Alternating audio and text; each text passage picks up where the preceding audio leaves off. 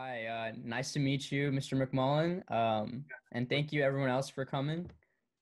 Um, so, Mr. I'd like to introduce everyone to Evan McMullin. In 2016, Mr. McMullin ran for president when no one else would. Since then, Mr. McMullin fo- founded Stand Up Republic, an organization aiming to protect our democracy. So, the way we're going to format this discussion is the first 45 minutes. We'll have open ended questions and questions submitted by attendees. Um, and then the last 15 minutes we'll open up to discussion. So, Mr. McMullin, I'd like to first start with your presidential campaign in 2016. Sure. As a conservative, why did you feel it was necessary to run as an independent? Mm. Well, thank you for the introduction, Alfie. And uh, yeah, i am happy to answer that question. Uh, there were a few reasons why I decided to do that, why we as a team decided to do that. Uh, the number one reason was a modest goal that we had, which was to simply defend fundamental American ideals from the right on the conservative side. And people think that sounds, you know, quaint or overly idealistic, um, but uh, but it, it isn't. And in fact, since Trump has been elected, of course, we hoped not to have that outcome. But since he's been elected, uh, a lot of our fundamental ideals, most of them have evaporated largely on the right. And that was exactly what we were concerned about and what we were fighting against. And we knew that we wouldn't be able to stop it. A modest camp, modest independent campaign like ours, starting only three months before election day. Uh, but we were hopeful that we would at least be able to be sort of a, a Noah's Ark, if you will, of American ideals on the right to sort of you know, keep those alive through uh, an impending storm that we saw on the horizon. And we thought that would either be that Trump would win, uh, or we thought that Trump would lose, and there would be a, a, fight for the heart and soul of the Republican Party. And we knew that we had to start that fight during the campaign if we were going to have any chance of fighting afterwards. We thought most likely Trump would lose, um, but we would have galvanized um, a, a network, a movement of support on, on the right during the campaign and, and built an infrastructure that would have allowed us to wage a, a fight for the heart and soul of the Republican Party after, uh, after the race. And in fact, it was shaping up that way about a month away from we had prominent Republican leaders, U.S. senators, and others reaching out to us asking us, you know, urging us to bring the quote fight back inside the family uh, after the election. We said we were open to that, but skeptical that the Republican Party would reform. That was our early negotiating position. But we were shocked and surprised that, you know, Trump won on election night, or I should use "won" in quotes because, uh, of course, his his you know ostensible win is colored by the fact that he was supported by a foreign adversary in 2016, as he is this year. Uh, and so you know when he when he did prevail uh, though we we were prepared to continue the fight. And and so one way or another we knew that the the cam our campaign would prepare us for whatever came after the campaign. Uh, then in addition to that you know we did want to give conservatives someone else to vote for. And you know 2016 was different than 2020 in 2016 both sides, you know, uh, more uniformly viewed each other's candidate as polarizing. Um, our view was that Hillary Clinton was somebody who uh, differed from us on policy issues, but that Donald Trump was a true danger to the country, and that's what our message was uh, for the most part. And uh, you know, we we also knew that people, even on the right, who are anti-Trump, didn't fully understand the danger that Trump posed to the country. So those two things combined meant that we thought it made sense uh, to give conservatives someone, another conservative to vote for, since the opportunity for uh, for crossover voting wasn't quite as strong as I believe it is this year, and it wasn't as obvious. Trump, the danger Trump posed, wasn't as obvious. Now in 2020, that's different. You know, if you're paying attention, if you're honest, if you're not inside a Fox News alternative reality bubble, you know the danger that Trump poses to the country. Um, you know, Biden and, and uh, Joe Biden and Kamala Harris have uh, made a great effort to run a unifying campaign. They've welcomed the support of uh, Republicans of conscience, disaffected Republicans, right leaning independents. They've welcomed us to their coalition. Uh, you know, they take input from us. Uh, and, you know, they've run a unifying campaign. And there are people on the left that don't, you know, that would have supported someone else in, in the primaries, and people on the right who would, you know, prefer a principled Republican uh, would run.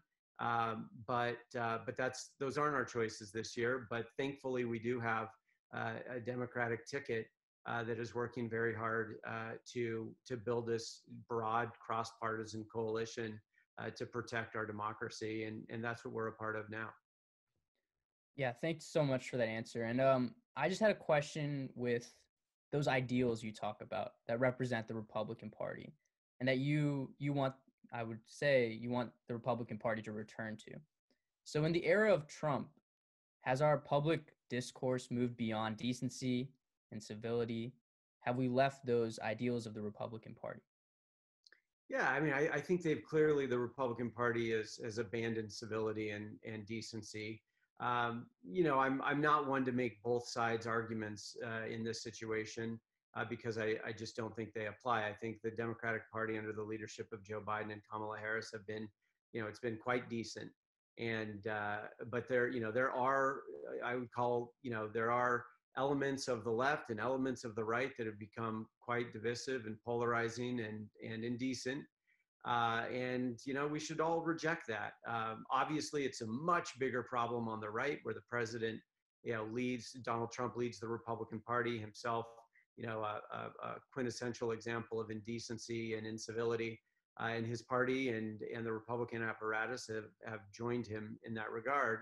Uh, and, you know, so, so it's, you know, if I, I, think if you're fighting for decency this year, you're, you're on team Biden um, in this election. So, um, but yes, I think it is a problem. And, but, but I, I would like to share just my view of why it is such a problem. I think a lot of people dismiss civility and decency in politics as again sort of an idealistic expectation that's unrealistic and unnecessary and maybe even not even good.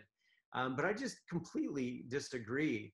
When we treat each other with civility and decency we uphold one of our founding values one of our most important founding values which is that we are all created equal.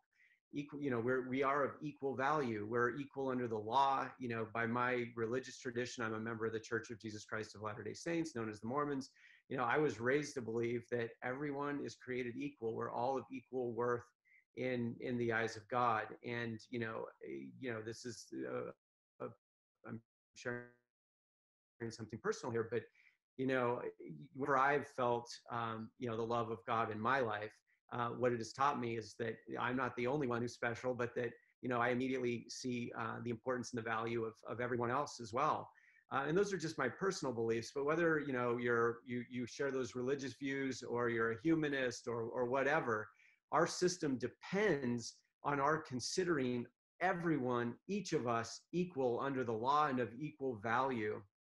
And when we treat each other without civility and indecently, we erode our commitment to that truth that we are created equal and that we are that we need to be equal under the law and that threatens our entire system. Uh, it also means that it's more difficult to find common ground on policy issues, on you know to, to find solutions to modern challenges that we face, whether it's healthcare or infrastructure or information warfare or you name it. All of these modern policy challenges that we face that we need to solve so that our country can keep up and keep pace uh, with the rest of the world, and so that we don't fall behind, and so that we don't or dismantle as a democracy, uh, you know, all of that is seriously assisted by civility in politics and damaged by its by the by the lack of it. And so I, I just think it's absolutely critical to our democracy that you know that that we in our personal dealings uh, in politics engage with civility and that we demand that of our leaders and i can say you know there i haven't been perfect in that either i really try to do it um, you know, sometimes I say things or write things that I wish I wouldn't, and I try to, you know, take it down if if if I can. Um, I, I don't often do that, um, but sometimes I do, and I think better about it. But I but I think we all have to to strive again to do it ourselves, to be more civil ourselves, but especially to demand it of our leaders. Awesome. Thank you so much for that. Um, and let's talk about why you founded Stand Up and like what inspired you to start that organization. Well, you know, I, I mentioned that after the election, uh, or we expect, we didn't know, you know, whether Trump was going to win after the election. If, if Trump had lost you know, we thought that you know we would participate in some form in a fight for the heart and soul in the direction of the Republican Party. Um, after Trump won, it you know that, that surprised us. We didn't expect that to happen, and so we had to we spent uh, several weeks reassessing and figuring out what we were going to do, what needed to happen going forward, and um, and what we decided was that instead of building sort of a Republican conservative only organization to fight for the Republican Party, something much more fundamental was at stake, and that was fighting for our democracy uh, across party lines. And so we started this organization, Stand Up Republic, which was you know designed to bring along the disaffected right, which we anticipated would have an identity crisis over um, around continued opposition to a, an elected Republican president. Um, but we also knew that we needed to unite people on the left and people in the middle in this larger effort to defend our democracy. And so that's a that's what Stand Up Republic was intended to become, and that's what it did did become. Uh, you know, we recently held a counter convention called the Convention on Founding Principles. We did that during the the Republican National Convention. Uh, over 650,000 people viewed speeches and panel discussions on founding principles. Uh, we had 20,000 people, almost 20,000 people, 19,000 and something register uh, to attend the event. Uh, we had uh, over 450 delegates from all 50 states, DC and Puerto Rico, draft and ratify a declaration of principles and uh, found you know principles that can unite this country and move it forward. And 39% of those who uh, who participated in that counter convention were Democrats, and the rest were either independents or Republicans. And so that was a very recent thing we did. Uh, and it was really evidence. Uh, this whole event was built around our founding principles, and it was it was a a very inspiring, um, energizing, uh, very inspiring and energizing to see Republicans, Democrats, and Independents alike united around these these these principles. And so, you know, we've pursued that fight, and I have to say, it hasn't been easy. I mean, we've had, uh, and you'll find this in politics as you go forward if you pursue careers in politics, especially when you become a leader, if you have a voice, you know, you'll find that people, you know, people want to have influence over your voice, and some of those people are donors, and some you need you need the board in order to do your work, and they have their own ideas about who you should be. And we had major donors, even in the pro democracy space, tell us that no, you can't you can't do this work in a cross partisan way. It has to be partisan. Um, and you know, we we even lost funding opportunities by standing our ground on that and saying no, we're gonna we're gonna build cross partisan uh, a cross partisan uh, network and, and movement across the country of Republicans, Democrats, and Independents because that's what's required to save our democracy. And it was it was unfortunate, you know, to lose that funding, but I'm glad we were true to ourselves and true to what was needed.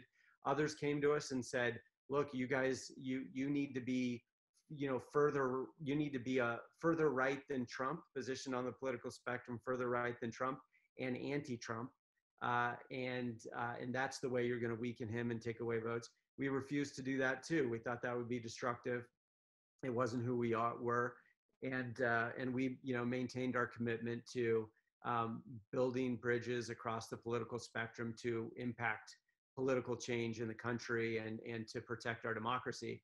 And i have to say it is it has been tangibly effective.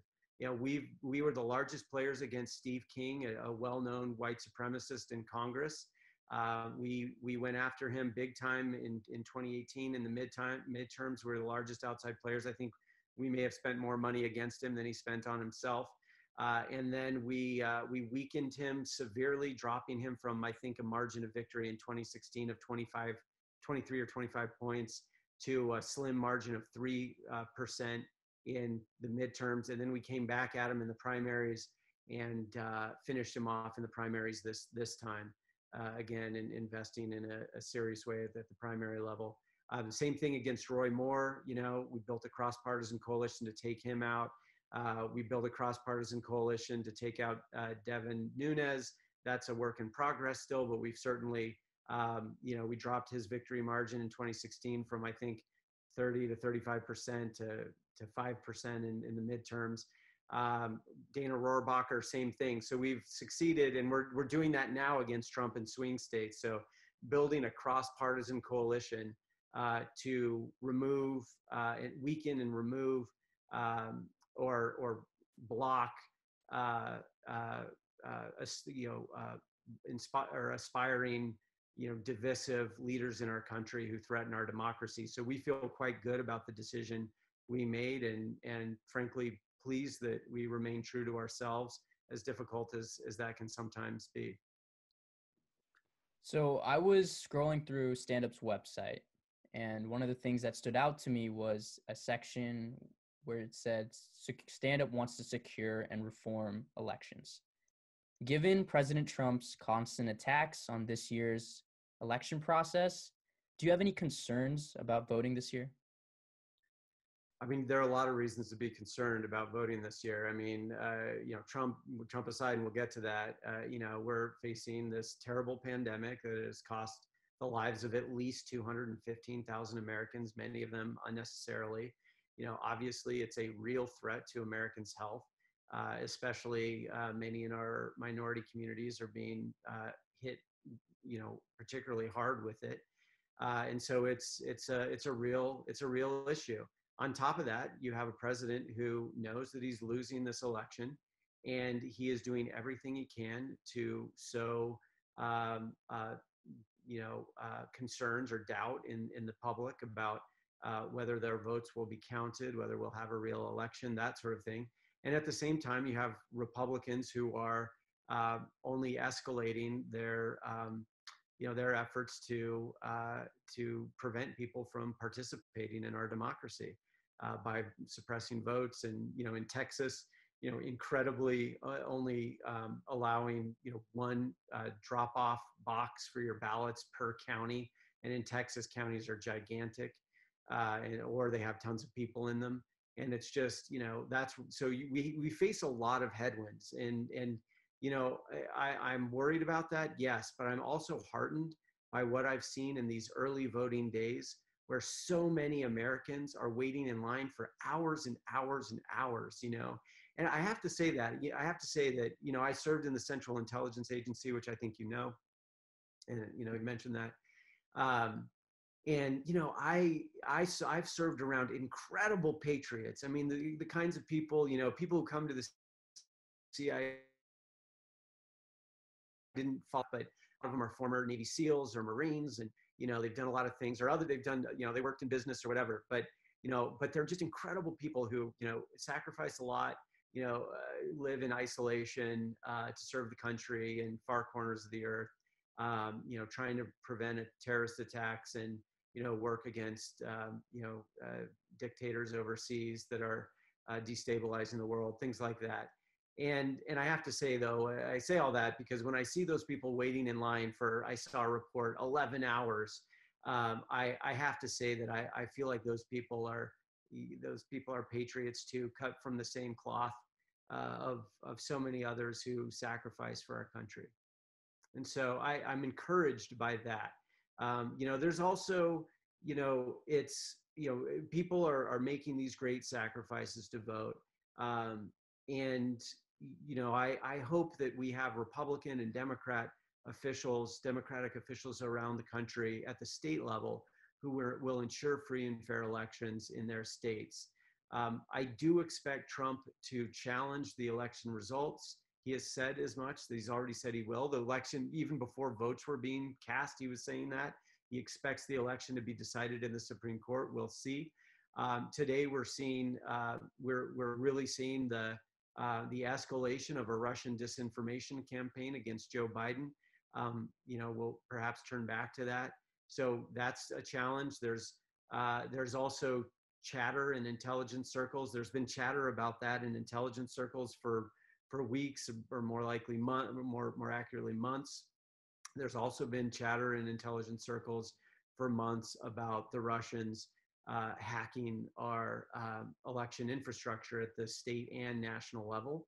And so we'll see if that happens, uh, but that's something that I'm concerned about too. Um, but the important thing is we, we all have to go out and vote. We have to vote. And it's not enough for us to just go out and vote. We have to mobilize others to vote. We can all do it. We all have spheres of influence. Some of our spheres of influence are big.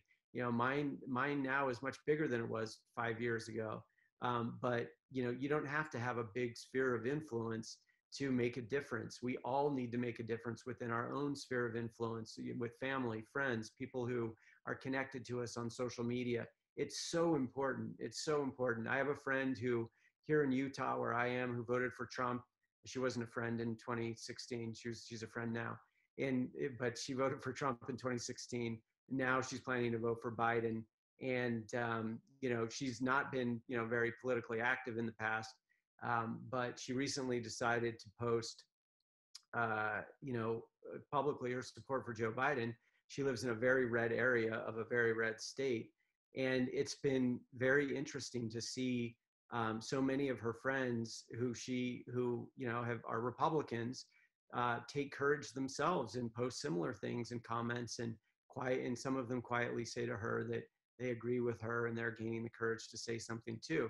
That has a ripple effect. It starts with one person but imagine you know when when we speak up you know people a lot of people turn out tune out political ads these days. They tune out the news especially in red states and red areas but elsewhere too uh, the real influencers in our country uh, are us you know we we can influence the way our friends feel and so you know I, i'm an advocate for having the tough discussions with family members and friends who may be supporting trump they may not like him, but they may be planning to vote for him. We need to share our concerns. Those of us who are opposed to him need to share our concerns with them. There are, I still believe, good people supporting Trump uh, that are locked in an alternative information space. It's it's amazing. It's, it's frightening, but um, but it's the reality. The only people who are going to break through that are us. You know, we are the people who, you know with trusted with relationships of trust and concern that pre-exist Trump with these people. So you know we all need to do that and i think that's part of the answer even after the election as well so you were just talking about the media um, and i know stand up does a lot to ensure a free free press um, but we've seen on both sides of the aisles politicians attacking the media. Um, trump has called them the enemy of the people. The obama administration has gone off um, prosecuting whist- whistleblowers. So, how can we ensure the freedom of press and keep the trust in our press while these attacks are happening? Well, I think the first thing is we need to make sure that we're electing leaders who understand and uh, and up, you know, and and part of our system of self-rule, our democracy. The truth is, without the press, we don't have a democracy. We don't have a republic. Whatever you want to call it, we don't have it without the press and we need leaders who will reflect that reality and if we you know if we encounter leaders who are running for office uh, who you know say things like fake news and and attack the press as the enemy of the people for example we have to make sure that we defeat them because what they're doing is they're attacking one of the most essential safeguards of our liberty and we we absolutely just cannot allow it and so that's the first step i think you know, on the right, for a long time, people have felt that there's been, you know, there's been liberal bias in the mainstream media. I, am someone who agrees with that, by the way, as, as somebody who is a person of, of faith uh, and who comes from the right. Although I say, you know, I'll, I'll speak of myself as a conservative and a disaffected Republican, uh, you know, in, in this conversation, but I, I also want to acknowledge that the political spectrum and political coalitions are in great transition now and where we will all end up may not be even as we maintain our commitment to our own principles you know where we end up in terms of political affiliation may not be where we started and i think that's that that great transition is happening. Um, but i will say that you know prior to trump uh, i felt as a lot of people did that there was sort of a you know you could just sometimes you just pick it up in the word choice or in the way um, many mainstream journalists talk about conservatives or people of faith that there was just a, a little bit of a lack of respect for us. Um, and I think, you know, over time, that created a situation where uh, a lot of antipathy grew within the right, and no one was there to say, okay, well, wait a second, the press is still very important to our freedom. And then Trump came along, and it was very convenient for him that that's the way many Republicans felt because he needed to attack the press because he had made the decision that all right aspiring authoritarians make, which is to serve himself above the people. Once you make that decision as a leader in office, exploiting your office to serve your own interests over those of the people, that puts you on a path, which is, is what I refer to as, you know, the, the authoritarian playbook, in which you have to attack the press.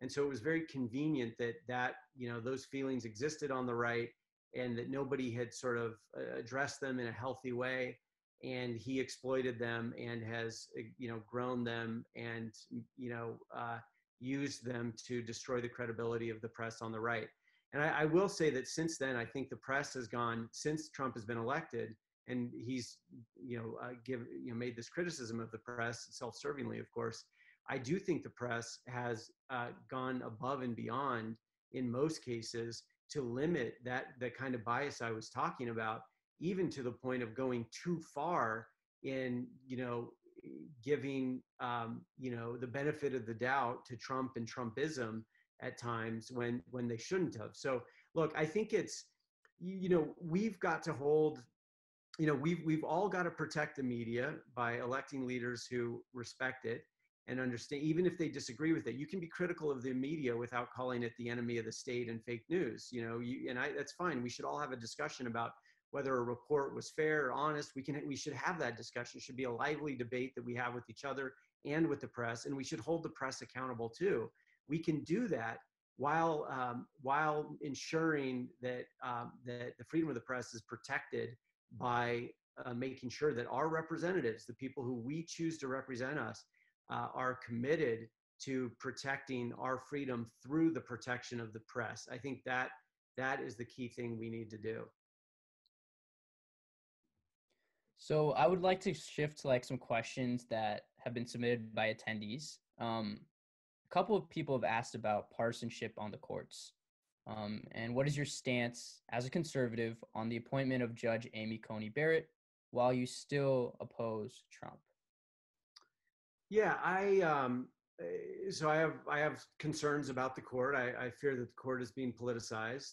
Uh, I think it was a, a terrible thing that uh, Mitch McConnell and the Senate Republicans did to not even consider the nomination of, of Merrick Garland uh, in President Obama's final year. I personally don't like the argument that a president in their final year can't appoint a, a, a justice to the Supreme Court.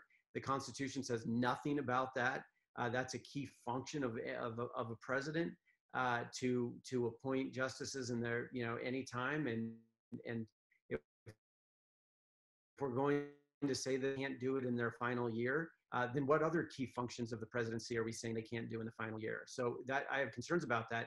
The Republicans have tried to have it both ways in the Senate, where they, you know, they they decided that they weren't going to um, weren't going to even consider Merrick Garland's nomination, and I believe some of them, it may have been Mitch McConnell. Don't quote me on this. You, will need to fact check me on this, and I'll need to do that to myself. But somebody said that I think it may have been Mitch McConnell that if they had to hold the seat open for eight years, they were going to do that. So basically, what they were saying is they were going to decrease the number of justices on the Supreme Court from nine to eight. And so that's sort of a, that's a way to that's a reverse court pack, you know, where you're um, you're it's all about you know the dilution the changing of the ratio on the court and if you're going to decrease the number of justices on the court for a period of time for political purposes that achieves the effectively the same thing as court packing does. And so i, I view that as uh, either the same thing or akin to it. Uh, and then to make matters worse, here the Republicans in the Senate are, uh, and in the White House, making an appointment in the final month of the Trump presidency, and you know, or uh, before the election, at least in the final months of his presidency, or at least of this term, um, trying to jam through, trying to jam through one of their own. So I think it's incredible hypocrisy. Uh, and I think it it is going to if if they do it and they seem poised to do it, they apparently have the votes. Um, they are going to. Uh, I think they risk they they risk delegitimizing the court as well as delegitimizing the Senate, um, both by doing this, um, but also by its consequences. You know, I, I hear even you know very reasonable Democrats talking about the need to pack the court uh, eh, to change the number of justices there are on the court if Biden comes to power and the Senate, uh, the Democrats take the Senate. And you know, after what they've experienced with Republicans over the last few years, over the last six years, in that regard, you you can sort of understand why they're saying that. Um, I think Joe Biden said recently he's uncomfortable with that. I share that view. I'm uncomfortable with it too. But I also understand how the Democrats got to where where arrived at where they are on that.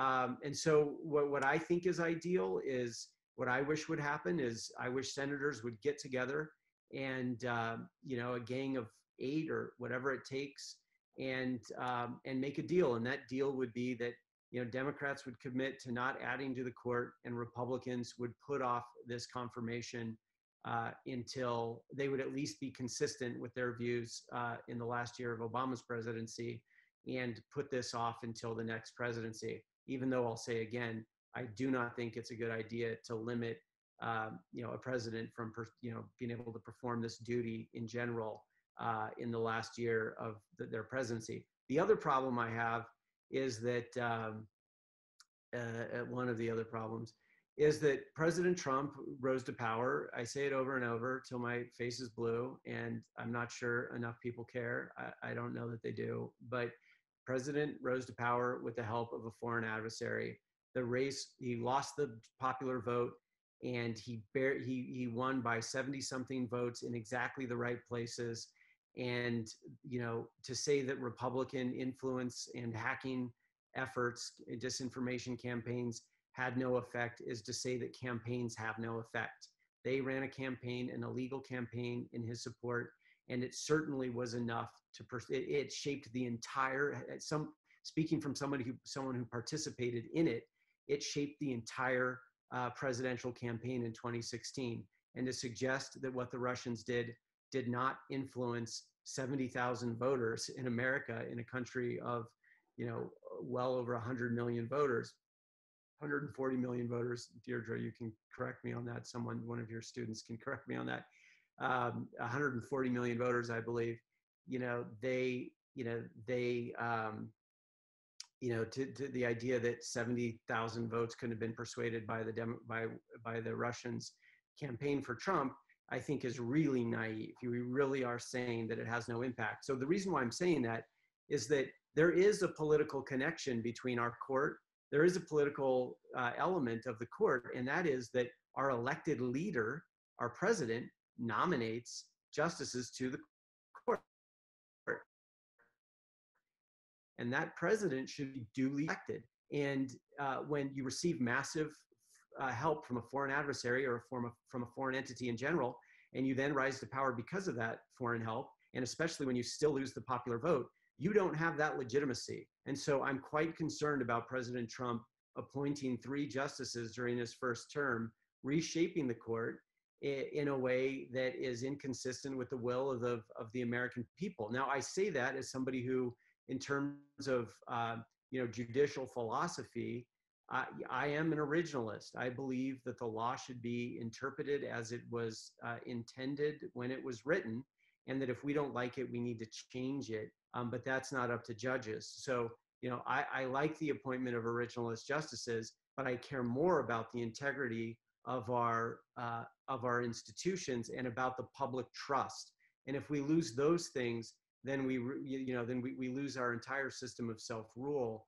And so that's what I'm concerned about. Lastly, I'll say that I've been concerned about some of the answers that uh, that Amy Coney Barrett has given over the last couple of days, including uh, being unwilling to say that you know she would uh, support or expect a president to agree to uh, a peaceful transition of power. I mean, it's it's one thing to say you're not going to uh, concede an election. Um, there are uh, people who do that, um, but it's another thing to be a sitting president and not to commit to a peaceful transition of power.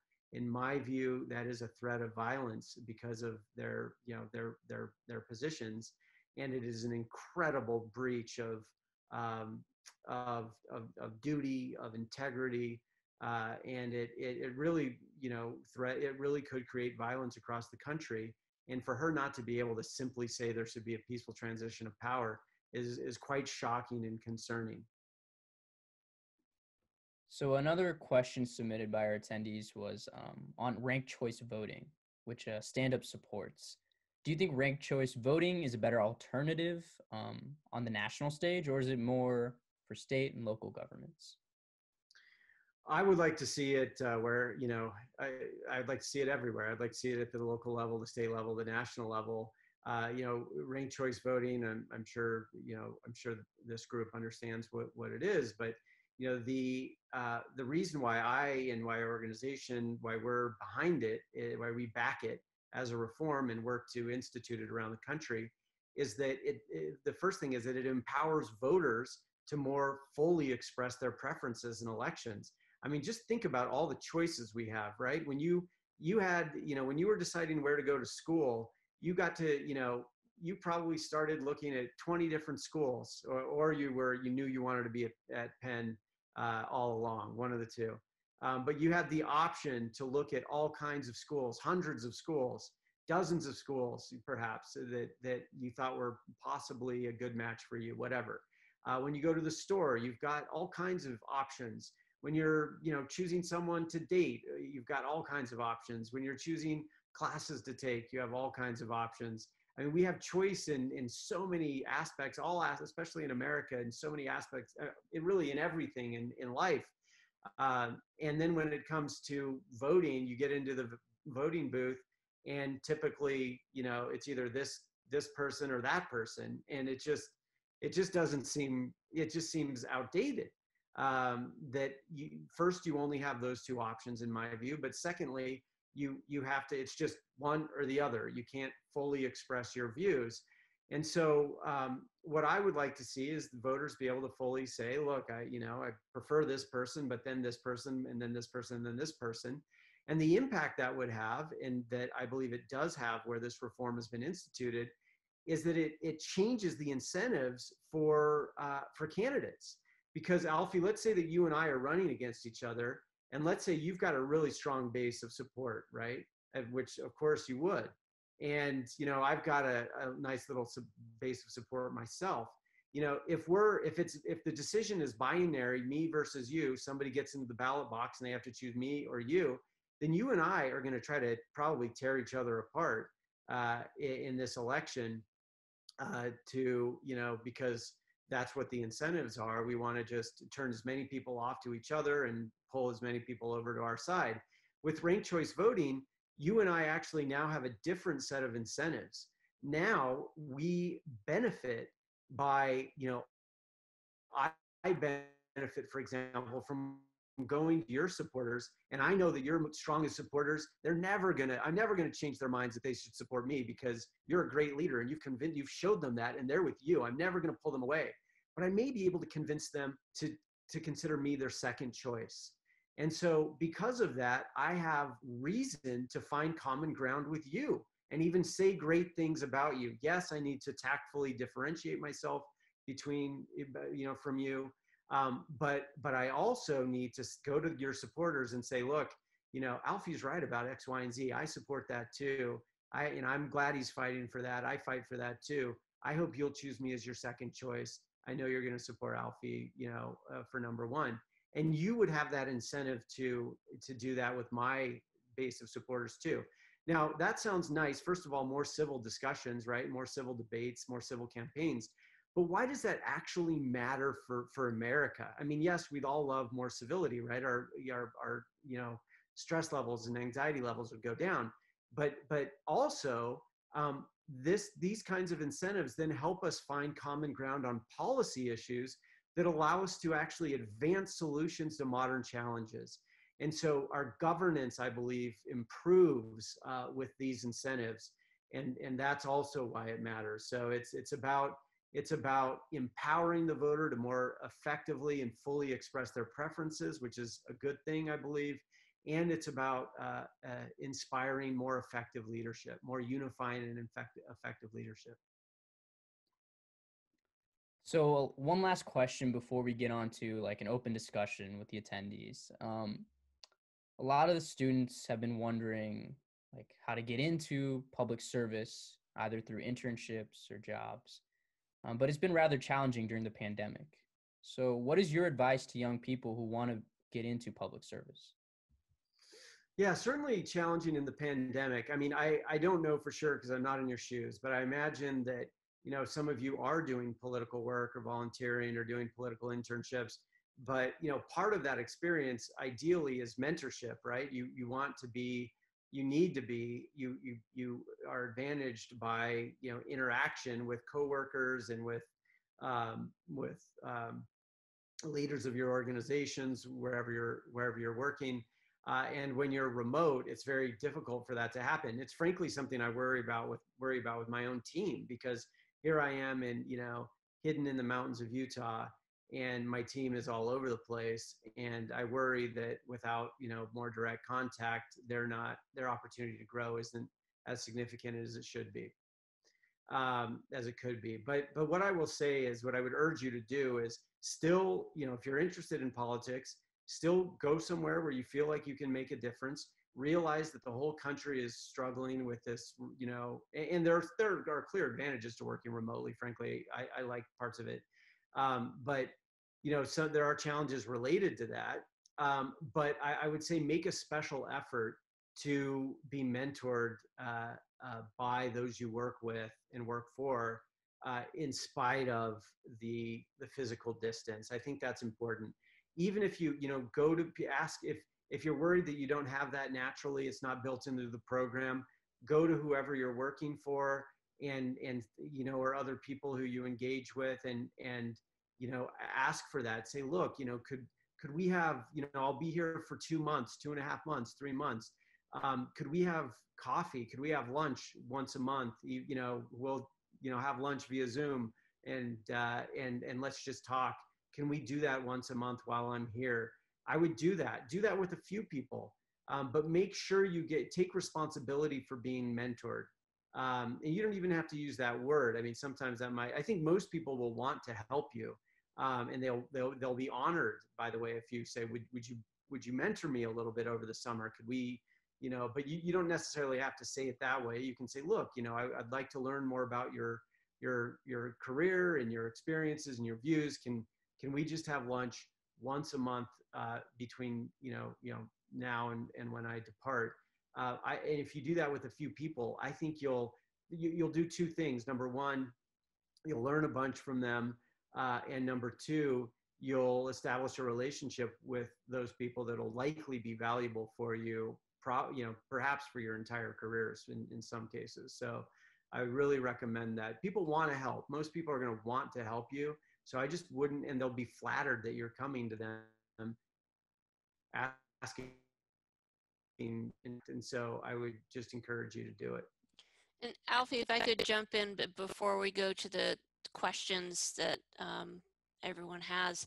You're kind of, Evan, you're the poster child for what I hope students do when they think about their careers, and that is they take that they take risks and that they do what they think is the right thing to do, and they not worry too much about sort of that next step and if that's a career disaster because you've you've done all kinds of things and you're fine. Yeah, yeah. So do you want me to respond to that? Yeah. Yeah. Um, yeah, I'm fine. Um, I will say that I will say this. so I have I've always done with with the exception of my time at Goldman Sachs, I've always done what I've been passionate about, and mostly what I've been passionate about was uh, helping the world be a better place. And I've done that in different forms. I was a missionary for my church. I worked for the United Nations with refugees as a, as a student, as a full time volunteer with UN, UNHCR in Jordan uh, working with refugees from Syria and Iraq and Africa.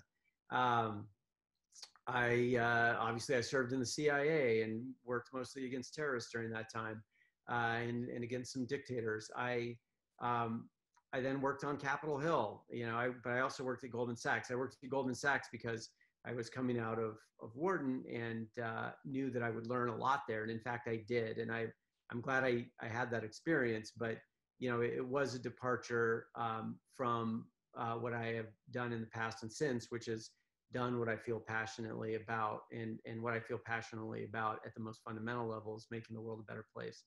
So, um, so, but let me just talk about uh, for a second why that's important. When you do what you're passionate about, you enjoy doing it. And when you enjoy doing something, you do a lot of it. And when you do a lot of something, you get good at it. And when you get good at it, you, um, you know, you have impact. And when you have impact, people give you more opportunities. And when you have more opportunities, you make even greater impact. And all of a sudden, so it all it, it starts from from from there, and it um, you know it, it's a it's a it's a career strategy as much as it is a, a, you know a way to be true to yourself and perhaps to make a difference. But I, I think you you know maybe it's a bit idealistic, but I think it's a, and everybody's different. I, I can't do things that I'm not passionate about. I, I just shut down. It's either I'm passionate about this, and so I'm going to do it. I'm going to do, do, do it to, to, the best of my ability, or I just can't do it. So I don't, I recognize not everyone is like that. And I think I, you know, should be, um, you know, should factor that a little bit into my commentary, but I do believe that, I do believe that there's enormous, that it's, it's a good career strategy to do what you're passionate about uh, for those reasons because it starts that domino effect. The other thing I'll say is that service is really important and also as a career strategy. And let me tell you why. So, and I, I'll share a story, uh, you know, just a little story about this. When I when I joined the CIA, I was uh, uh, entering my I was I was between my sophomore and junior year at Brigham Young University, and I joined this program where I would do a semester at the agency and a semester back at school until I graduated. So that, that's what I did.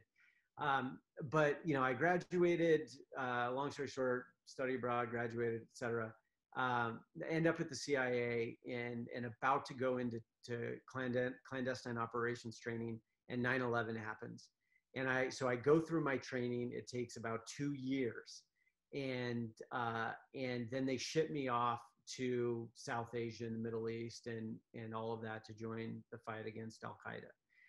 And when I got there, you know, it was about two years after 9 11, but that was, we now, of course, recognize very early on in, in the fight against terrorism.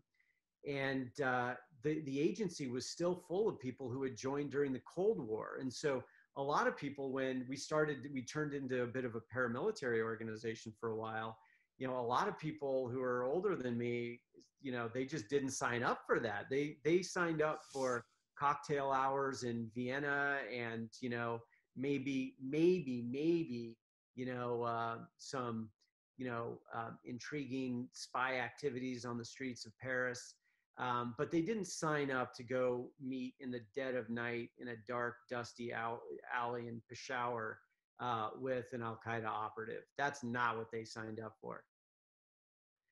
Um, but I was a young young guy in my mid 20s, and which doesn't seem young to you, I'll acknowledge, but it was young. And I, uh, you know, I in my first assignment, and I volunteered to go do those do the things that no one else wanted to do.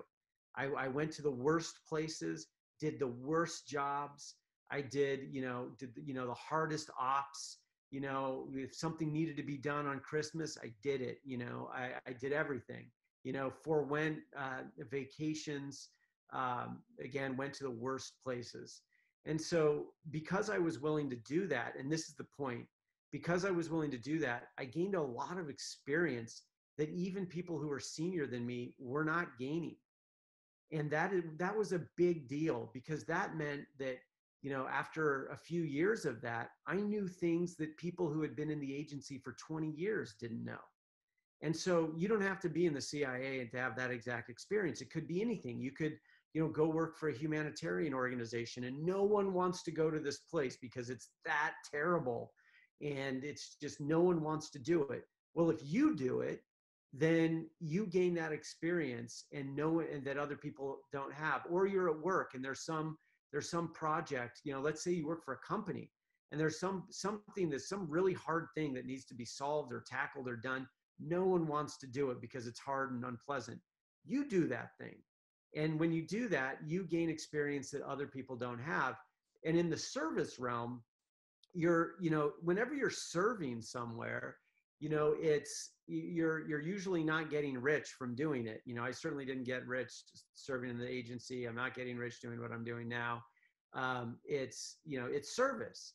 And um, you know when you when you uh, you know usually in those situations the, the system of our our lives our governments our economies they failed in some way and so there's a problem right? There's a problem that doesn't that hasn't been solved and that isn't solved by the normal business of the machine of life whether it's government or business or civil service or you know what whatever.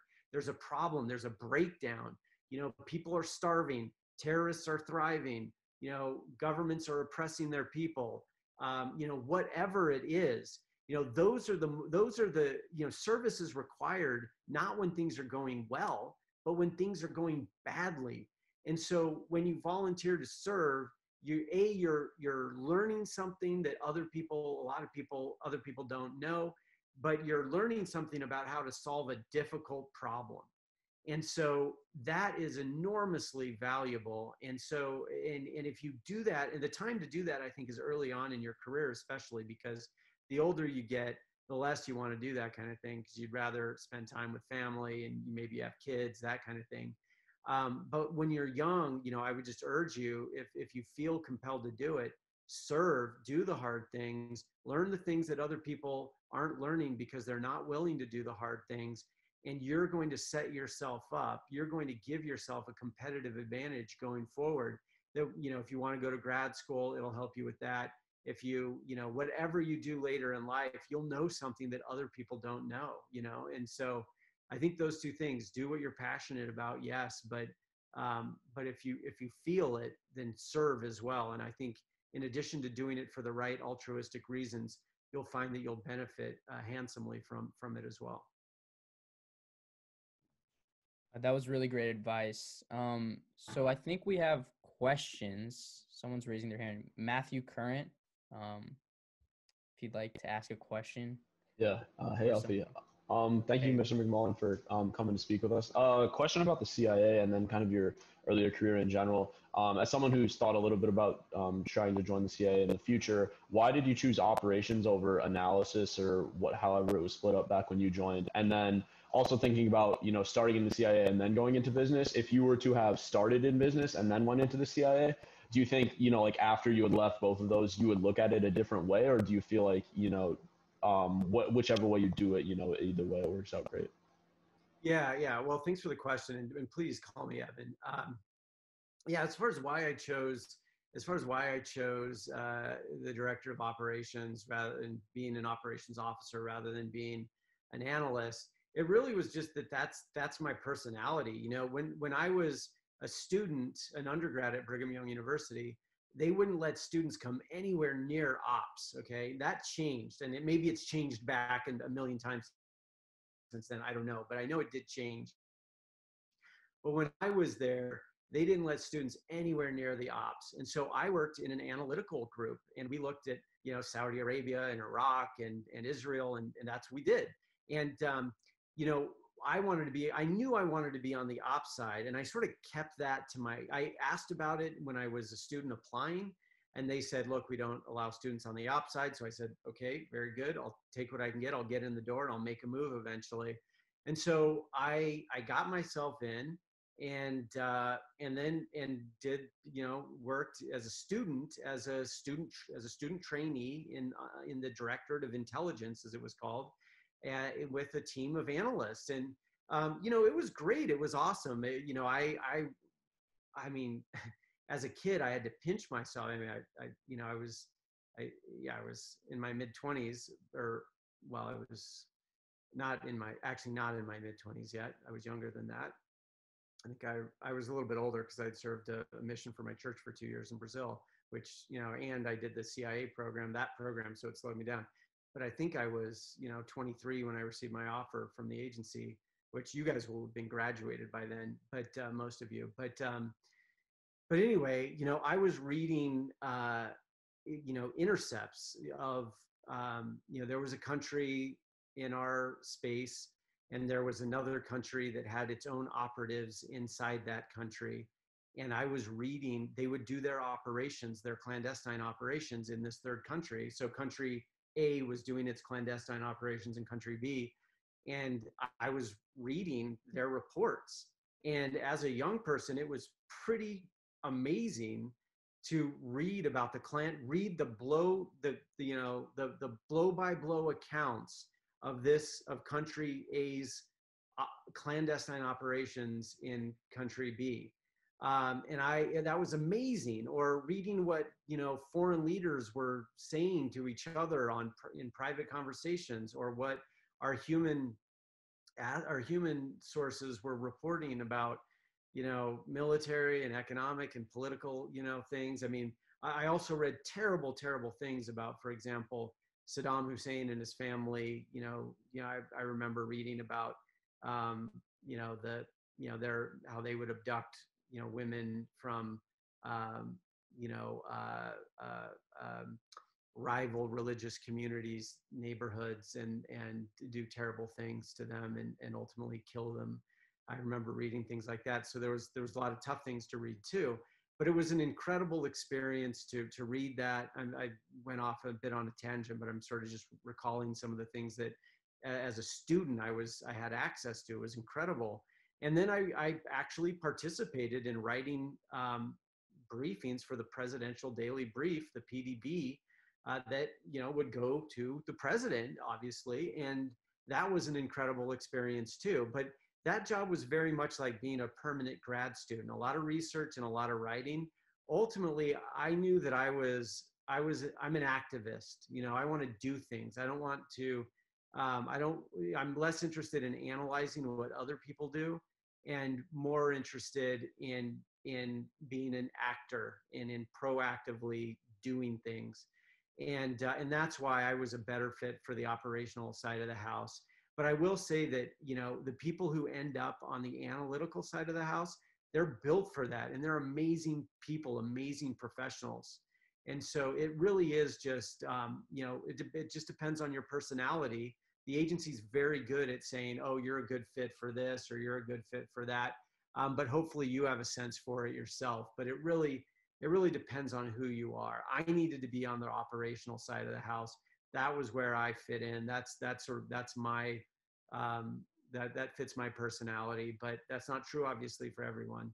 Uh, and as far as whether to do business first or second, um, I think it, it, it could go either way. I think increasingly you know, and even then, the agency preferred people with more experience than I had uh, to go into operations. But because I had gotten in early, they, you know, they they let me in. They let others, other young people into. But um, but mostly they like people who have a little more experience. So what I would say is, you know, if you're interested in that, graduate, go get a grad degree, or or go get some experience in in in you know the private sector um, it'd be great if you worked overseas, although that's not a total requirement. There are many different routes you can take. You can work in investment banking, you, you can work in consulting, you could do other things.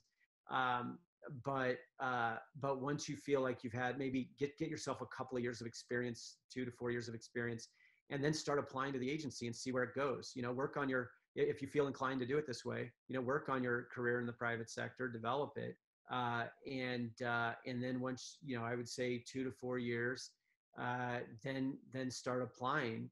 Um, I'd probably be more on the side of four years post undergrad. If you graduate at if you graduate at age 21 or 22, I'd give yourself four years of professional experience, and then start applying.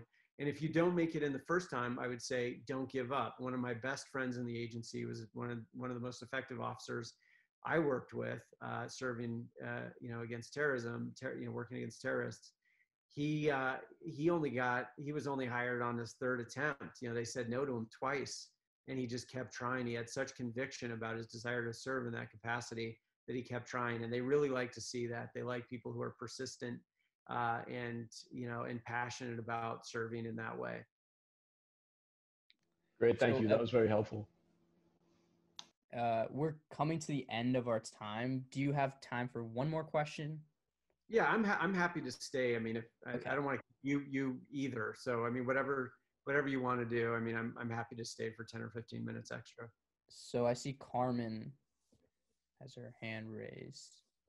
Yes, I do. Uh, thank you very much, and thank you, Mr. McMullin. Uh, I just had a question, kind of the intersection of your time at the CIA and also in the political realm. Personally, I have an extreme interest in the CIA, but I would also to like to make social change in this country through the political realm as well. So I was kind of wondering, how did that transition work for you? How did you reckon yourself kind of with switching from foreign service into working specifically for the United States government and inside of it? Uh, I was wondering if you had any tips kind of on that transition? If, for example, if I would like to work in the CIA and then switch to government and political parties, what could you say about that?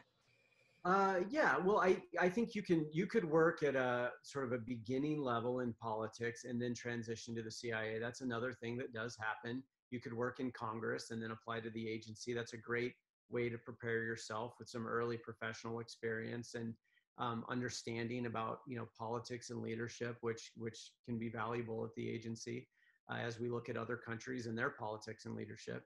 Um, so that's you can do that. You can also go from the agency to to politics. That's been sort of my route. My route was uh, you know. Um, you know, I, when I was at the agency, I had this. All I can say is that it was a sixth sense that I just had this feeling that I needed to spend some time on Capitol Hill. And I remember going to my bosses at my operations bosses, these grizzled operatives, saying, Hey, I'd like to, I see this program on the computer system over here, and I would like to do a rotation on Capitol Hill. And they looked at me like I had two heads. You know, why you, you know, with the coolest job in the world is the way they thought of it. And I agreed. Why would you want to go do a one year rotation and, you know, push papers around on Capitol Hill? And so they basically kicked me out of their office and that was that. I just said okay well i'll i'll just suppress that desire for now and we'll see what happens. Um, and so what happened was you know i did my service completed my service at the agency went to wharton went to goldman. While i was at goldman uh, i you know unexpectedly someone reached out to me someone a former senior agency officer and said you know ed royce is taking over the foreign affairs committee in the house and he would like somebody of your background to serve as an advisor, a national security advisor to him. Do you want to do it? And, you know, of course, it was going to be a, a, pretty decent pay cut, but I recognized that. I said, all right, this, it's here. You know, I've known that I, I felt that I needed to do this. I felt inspired to do this.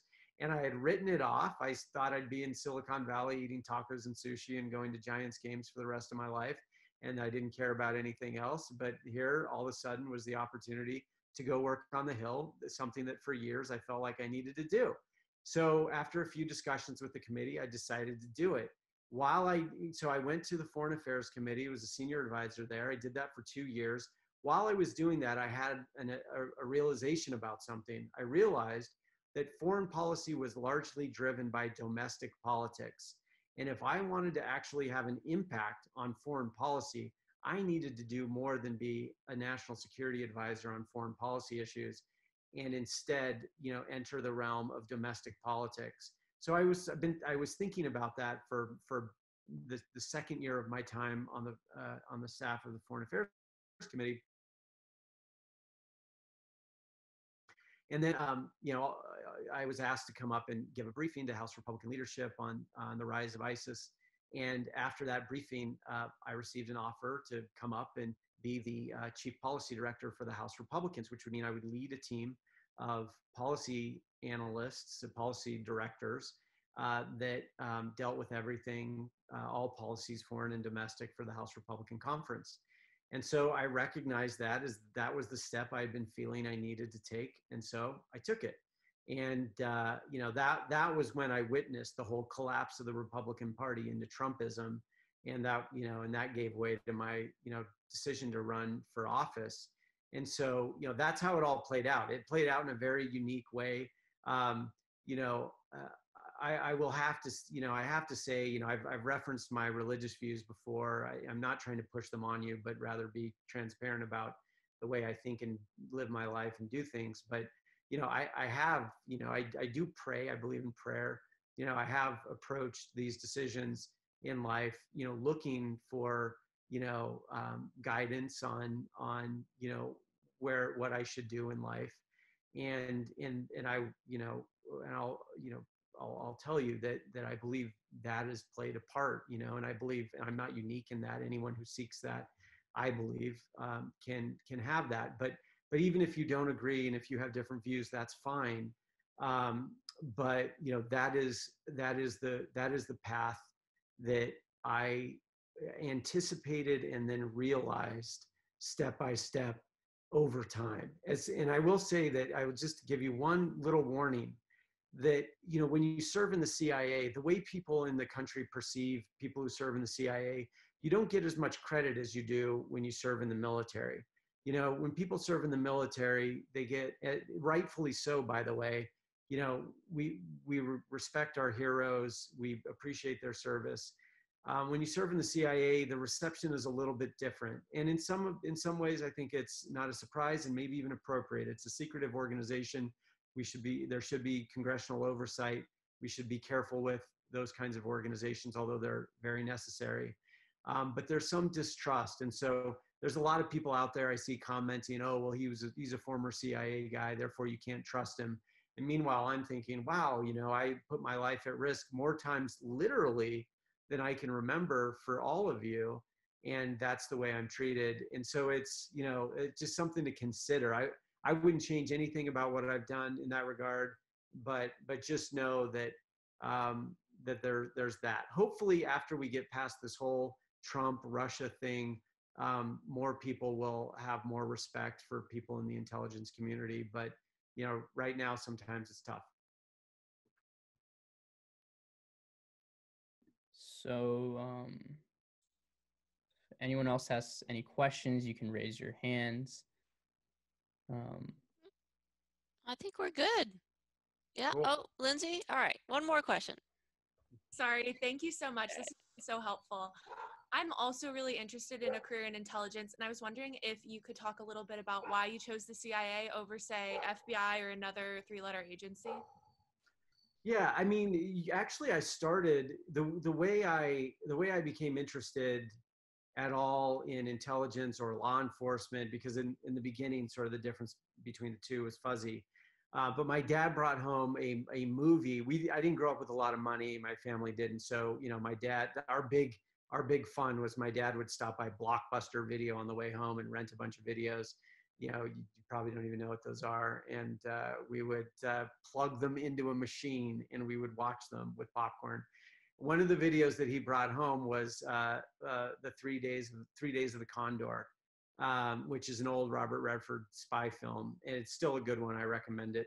Um, very retro but i think you'll still enjoy it. Um, but uh, i i that that movie captured my imagination and i started reading all kinds of books but i first actually started out reading books about the fbi and um, read everything i could about the fbi and then started reading everything I could about the CIA.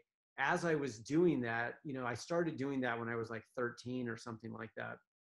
So for years, read all these books about the CIA and the FBI. As I did that, I my eyesight, you know, became less than perfect, and I had to get glasses. And that I recognized that was going to be an impediment to me working for the bureau, at least at the time. So that that I started, and I don't know if that's still an issue or not. And of course, there's LASIK, so I don't even know if it matters anymore. But that pushed me more in the direction of the CIA. But the more I read about the agency, the more I, I felt I just had this feeling again that this was a way that I could serve the country and I, that I could be effective given my own personal talents, uh, which were still in formation at that early stage. But I just had this sense that I could be an effective agency officer and that I would be able to serve the country in a meaningful way in that capacity. And so I just continued reading about it as much as possible. And when I was about 16 years old, I, I, called the agency. I remember sitting on my parents' bed in the summer. They were out of town, and I grabbed the phone. It was connected to the wall, and it had a rotary thing. And I, you know, called 411 because that's how you got information. There was no internet, and that sounds crazy. Um, and uh, I asked for the CIA, and they eh, well first they asked for the location. You had to give them the location, and I said Langley because that was the name of where CIA headquarters was. And the 411 operator kept telling me there was no Langley, and I thought this is crazy. Of course there's a Langley. Okay, just give me the CIA. Surely you have their number. uh, finally, I realized that Langley is not a place that actually exists. Uh, the CIA headquarters exists in a place called McLean, Virginia. And so my little 16 year old self said, okay, I, I, would like to a listing in McLean, Virginia. They said, fine, what do you want? I want the CIA. They connected me to the CIA, connected me. And this old man answered the phone and said, um, uh, hello, can I help you? And I said, yes, is this the CIA? Uh, uh, well, who are you calling for, sir? And I said, Is this the CIA? I was a little frustrated. Sir, who are you calling for? And I then I knew that was the CIA and the hair on the back of my neck, I still had it at the time, uh, stood up and I thought, wow, this is the CIA. And so I remembered that I'd read about the recruitment center. And so I had enough, um, you know, ability to think on my feet that I asked to speak with the recruitment center. And he said, very well. And he transferred me to the recruitment center and uh, the receptionist there picked up the phone and said you know hello recruitment center and i began to speak with her had a little conversation with her and you know i was gaining information it was good uh, and at one point i mentioned to her that i had a, a, red black belt one step away from a black belt in taekwondo and i asked her if that would make me more competitive. And she laughed and said how old are you? She didn't even answer the question. She just asked me how old i was and i told her i was 15 or 16 and she laughed some more and she said call back when you're older. And so i um uh so i i uh so two weeks later i was older and i called back 411 got the operator asked for the recruitment center got the receptionist and when i got to the receptionist i asked for a recruiting officer and they transferred me right to somebody who called himself arthur. I'm sure that wasn't his real name but Arthur and I would have, uh, you know, a, a, number of conversations over the next few years about decisions I was making about going to school, about joining the Marine Corps, about serving a mission for my church. And, you know, he said, uh, you know, don't join the Marines. It's too much of a commitment and we don't need those skills anymore. Well, he, he was really wrong about that. Um, the, the world changed. Um, but, you know, he said, don't, when you i told him i was serving a mission to brazil and he said don't take my contact information with with you i'm internationally known so i hid it away at home and went to serve in brazil for two years and when i came back i dug up his information and reconnected with the agency and then a year and a half or later they you know, i received an offer for them to start to start so that's that's the long that's the long answer but that's that's how it played out for me i would really say that just lindsay it should be driven by your your own personality and your own interests. Some people are made to um, think in a very, you know, in a more rigid uh, way and are great to be law enforcement officers. Other people like me are, you know, a little more, you know, are uncomfortable with that and need to be a little more freewheeling and creating in a way and are more comfortable with ambiguity. Um, and and I I was and that that you know made me well suited for what I did. But you know we need good uh, special agents at the FBI. We need good oper- operators at CIA. We need good analysts at both organizations.